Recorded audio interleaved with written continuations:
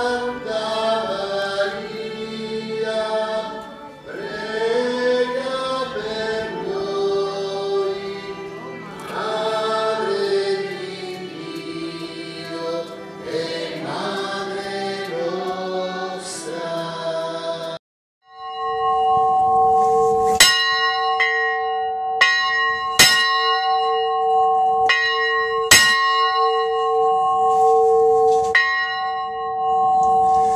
Mese mariano e quindi tempo di altarini, purtroppo però quest'anno a causa del coronavirus, del male del secolo, gli altarini a Bivongi sono pochissimi, anzi se ne vede qualcuno.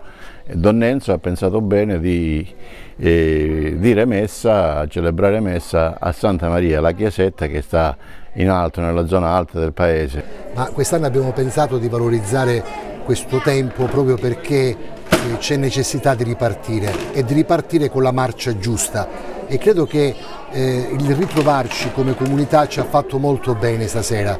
Proprio in questo periodo abbiamo visto quanto è stato difficile ehm, questo coronavirus e abbiamo capito che il problema non è stato solo un problema di salute, ma il problema veramente, il virus più grosso è il virus delle relazioni che si sono perse. Per cui da questo punto di vista è stato un primo esperimento di celebrazione all'aperto, perché questa chiesetta è piccolina, ma per ritrovare il senso di appartenenza e di comunità e soprattutto vincere il terrore e la paura.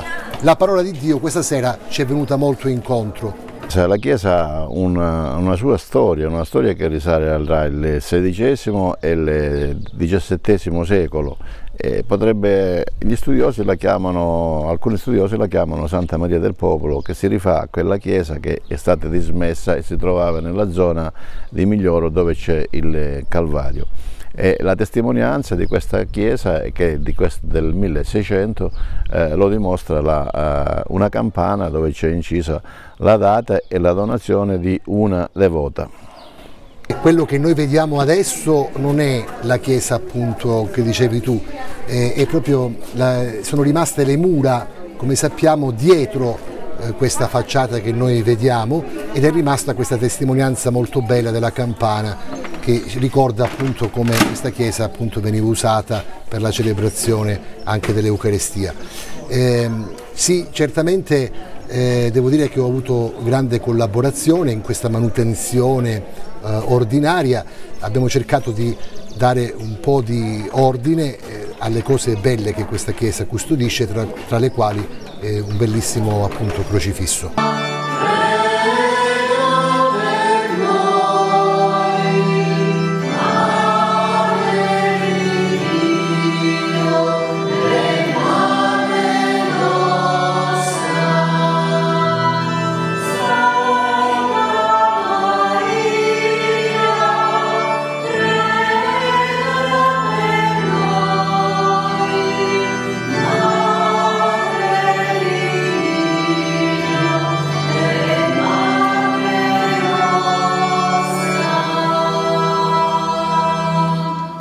L'augurio che io ho fatto, che faccio anche oggi in questa festa di Santa Rita e anche eh, festa per noi della Madonna è proprio questo, dobbiamo generare futuro.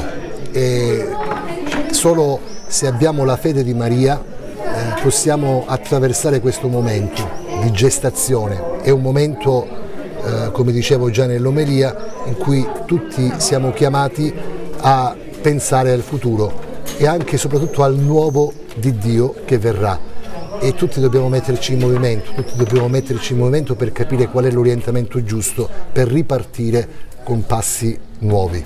Ecco abbiamo qua, per chiudere Don Enzo, la statua di, della Madonna di Fatima. Sì, è stata appunto eh, acquistata da alcuni anziani di questo quartiere ed è stata una grande intuizione, pare che abbia un 30 anni questa piccola statua. Eh, è stata un'intuizione molto bella perché il messaggio di Fatima rimane ancora attuale ancora oggi. La Madonna ha chiesto a tutti la penitenza, la preghiera e la preghiera per i peccatori, quindi per ciascuno di noi e per tutti i peccati che si consumano nel mondo, ma ci ha fatto una grande promessa, che il suo cuore trionferà e questa è la grande speranza che dobbiamo avere.